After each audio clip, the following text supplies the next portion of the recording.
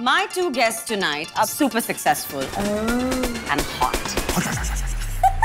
Asha Negi and Rithvik Dhanjani. Mostly lost. What do you mean lost? Means that you're unusually intelligent. Has Asha ever had a crush on someone else's boyfriend? I can't even tell the name. Raja Ram. Please don't take the name. okay. His favorite brand of underwear. she wouldn't know because I don't have any. Sure. Yeah. Tata Sampann Masale presents A Table for Two only on ZEE5.